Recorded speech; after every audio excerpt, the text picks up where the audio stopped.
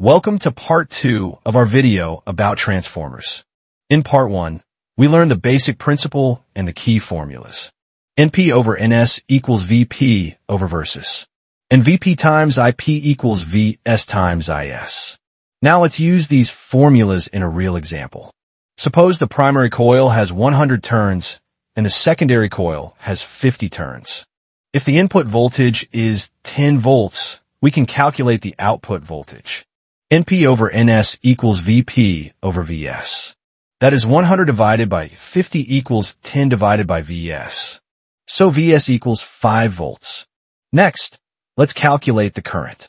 If the input current is 1 ampere at 10 volts, we apply the power formula. VP times IP equals VS times IS. That is 10 times 1 equals 5 times IS. So IS equals 2 amperes. This example shows how a transformer can reduce voltage but increase current while keeping power balanced. And that's the end of part two. So stay tuned and don't forget to like, share, and subscribe.